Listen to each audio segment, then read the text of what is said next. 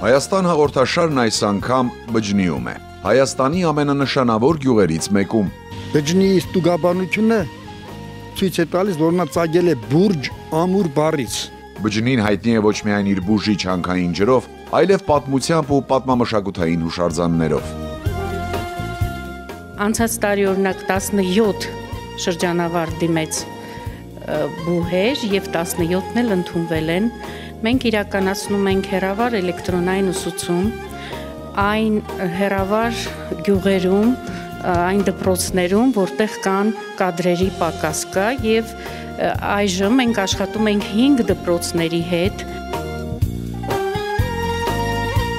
Գյուղի կյանքն ու կենցաղը թեև դժվար է, բայց այն էլ իր հմայքն ունի, իր ձգողականությունը։ Ամեն մի շեն իրեն բնորոշ համ ու հոտ ունի։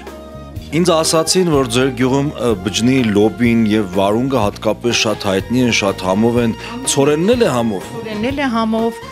Այդ բանջարանոց բանջարեղեններն էլ ամեն ինչն էլ այդ հացատիկային կուլտուրաներն էլ, որովհետեւ բջնի հողն ու ջուրը